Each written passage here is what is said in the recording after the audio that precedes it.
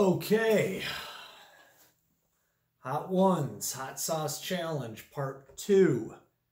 Four, almost exactly four hours later, it's 9.06 p.m. I started that challenge at 4.54.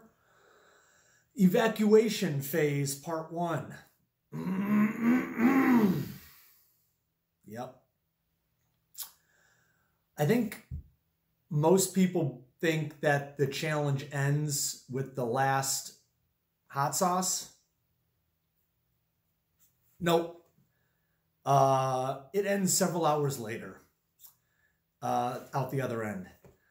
Uh, so earlier today, I bought a half gallon of ice cream uh, in preparation for this because I thought I'd be using it during the first part of the challenge.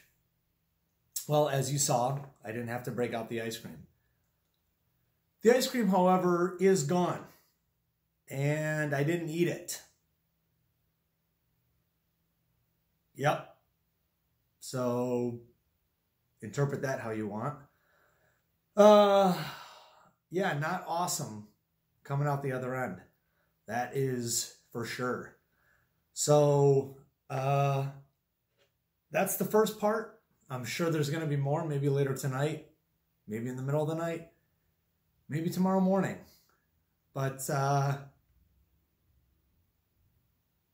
yeah, it's uh, it's not good. It's not good. If I had to compare it to a song, the situation going on right now, you know that Jamaican song, feeling hot, hot, hot. That's what my butthole's feeling right now. Hot, hot,